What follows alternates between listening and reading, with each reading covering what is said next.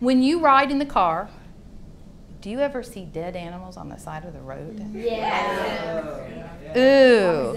What do you call those dead animals that are on the side of the road? roadkill? Do you think that it's important for us to collect the data on roadkill?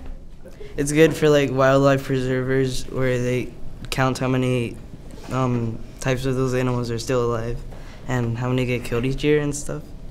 It's very important in making a decision, basically, is what you're saying. So, our essential question today that we're going to answer at the end of the period is how can you make and use a data display in a way that helps you make important decisions? So, let's look at some data. I have made a chart with some data on it. And this is a group of schools in New England participated in a two month study, and they reported 3,962 dead animals. Now, the way that data is displayed, is that helpful to you? Not really.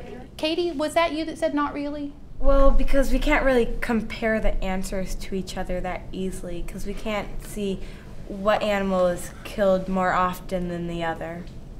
Are there other ways you would like to see that data displayed? You could always do graphs and charts.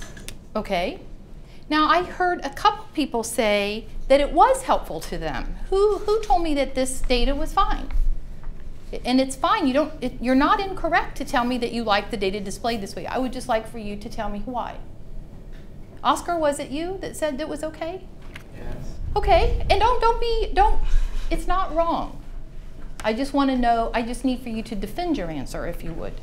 I was just saying that because it tells you how many, what kind of animals they're, not like the name of the animals, but what group they fall under, and it just shows that. And then you can go somewhere else and like research all the, like how many mammals were killed or what type of mammals were killed. Okay, so for you, you could see the different types of animals and you were able to pull. Now let's look at the next example. Black bear, bear roadkill. The data below show the number of black bears killed on Florida roads from 1987 through 2006.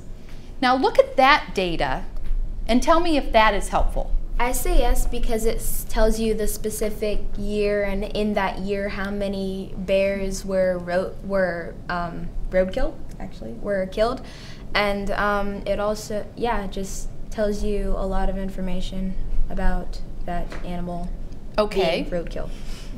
Do your you girls over here are kind of quiet? Maybe it's because you don't like roadkill, and that's all right. But if you don't like roadkill, then you would be really wanting to do something to prevent it. So knowing that it happens and seeing the displays should help you be able to come to some decisions or help others come to decisions to maybe help prevent it. Does this display of the black bear help you to be able to make decisions? Or do you think there may be other displays that would be easier? I think that graphs would be better and um, just line charts where you can compare the dates to each other to see which dates show more killed or less. So Katie said to us that she thought the data would be easier to look at and make decisions if it were displayed in another form. So I want you to look through all of these and just talk about each of them with your partners. And then we're going to go back and we're going to look at some examples and I'm going to ask you to tell me which display would be best to display data. I, I, I like I like the circle graph and everything, man. I think the line graph would be best.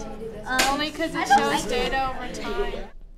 I heard really good discussion as each of you and in your groups talked about the different data displays. So I would like for us to revisit one of the uh, pieces of data we looked at a few minutes ago, and that was about the roadkill in New England.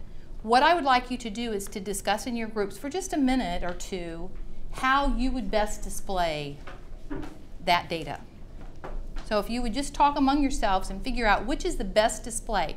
You can refer to your book to look at the different displays, but I'd like you to come to a conclusion in your group.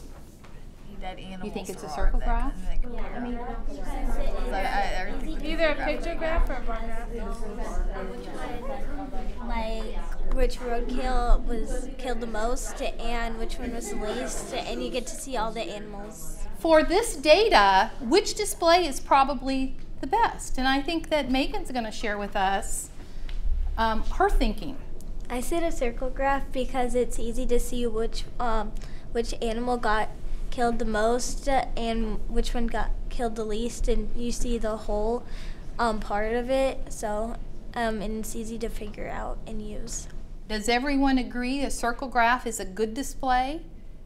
We have some some differences of opinion over here. We think that a bar graph would be better because if something's even like one just one percent off, then you can tell easier in a bar graph which one's higher, and and a bar in a circle graph you can't really do that. So let's think back about the essential question that I asked at the beginning of the class period. Can anyone remember what it was? How can you display data in a way that helps you make decisions? So who can answer that? It helps because the right graph or the right picture helps us make better decisions because depending on what we see, it can help us like So- work faster, make it easier on us to understand. And then we can defend that decision as well. Yes. Very good. Well, tonight I'd like for you to go home and I would like you to look on the internet or in the newspaper and I'd like you to find data displays and cut some out and bring them tomorrow. I'd like you to find some that are misleading and just be prepared to tell us why they're misleading. And find some that are really informative that help make decisions. You guys have been great today. Thank you.